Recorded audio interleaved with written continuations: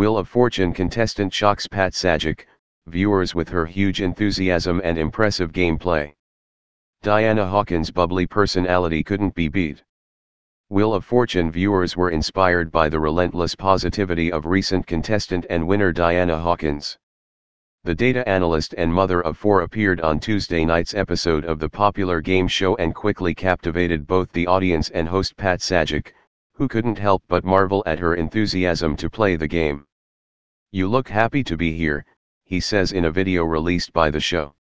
Like, almost hysterically happy to be here.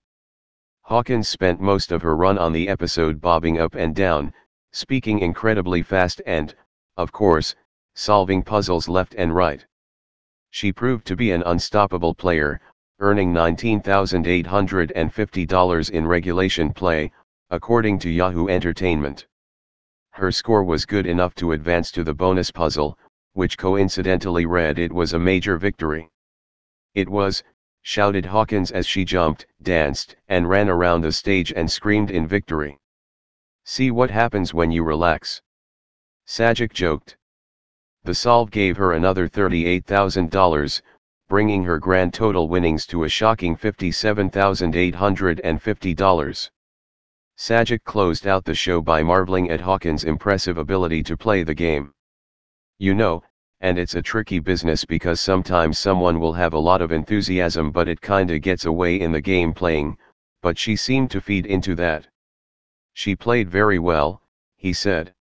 While viewers shared the host's admiration of her gameplay, it was her enthusiasm that made many take to social media to express their thoughts on the high-energy episode.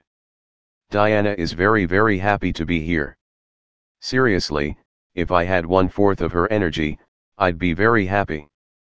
One inspired user wrote on Twitter. If y'all can't match the energy of Diana right now you need to take notes on how to have a good time and enjoy life hashtag Wheel of Fortune, another wrote. Why can't everyone be as happy as the great Lady Diana on at Wheel of Fortune? She's awesome. Another added. I just want to say that Diana on At Wheel of Fortune tonight was actually so much fun to watch. What a great personality. I hope she's staying safe during COVID. Hashtag game shows, someone else felt inspired to write. Every game show on the planet should be reaching out to Diana to get her on.